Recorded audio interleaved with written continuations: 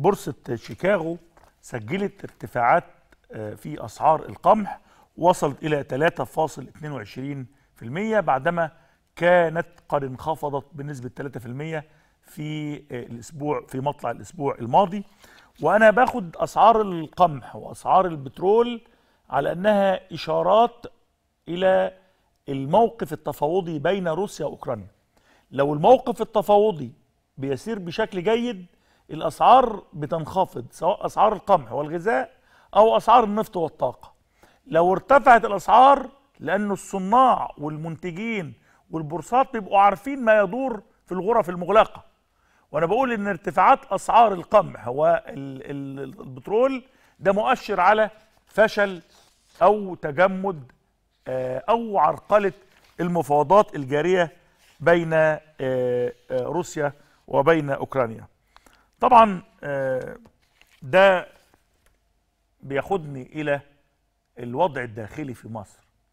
ومع مطلع شهر إبريل الحالي النهارده عدى أسبوع على 10 أيام فيه ال- موسم الحصاد حصاد القمح. آه، الغلة يعني زي الفلاحين ما بيقولوا.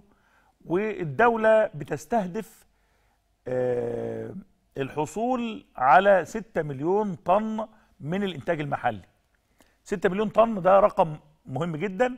الدولة عشان تاخده من الفلاحين والمزارعين والمنتجين زودت الأسعار أسعار التوريد وسرعت من سداد قيمة هذه ال- الأقماح آه، في خلال 48 ساعة من آه، استلام القمح بدرجة النقاوة اللي حددها وزارة التموين.